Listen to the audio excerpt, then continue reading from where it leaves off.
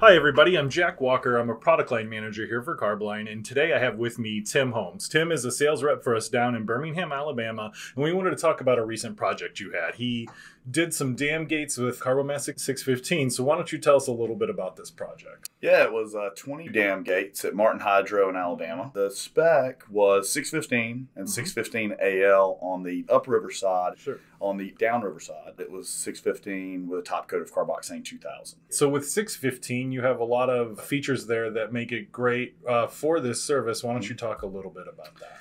Well, we, we selected this for a couple of reasons. The 615 provides really fast throughput for the fabricator, so that's that was important. It also provides a wide variety of application conditions. Mhm. So it cures in cold weather. It's it's moisture tolerant. It's a great solution. Also, the 615 AL has a lamellar aluminum flake, which Mhm. provides some structural rigidity, some permeation resistance, and then it also provides uh, UV stability for an epoxy. Sure, sure.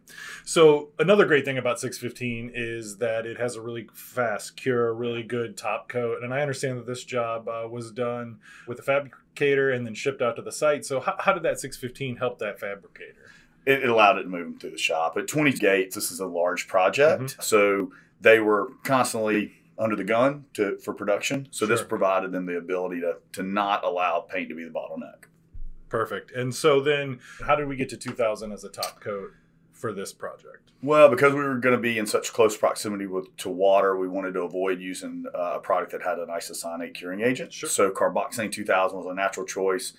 You couple that with the fact that it's got amazing color and gloss retention. It was a it was the right product. All right, so there you guys have it. That's Dam Gates with 615 and Carboxane 2000. If you have any more questions, don't hesitate to reach out to Tim or you can contact myself.